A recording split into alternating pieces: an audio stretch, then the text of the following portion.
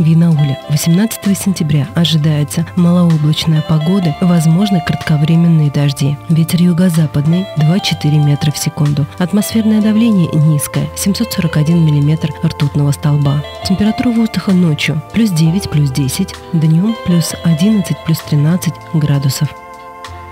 По данным МЧС, по республике ожидается облачно с прояснениями дожди. Ветер южный, юго-западный 3,7 метров в секунду. Температура воздуха по республике ночью плюс 8, плюс 9, днем плюс 14, плюс 17 градусов.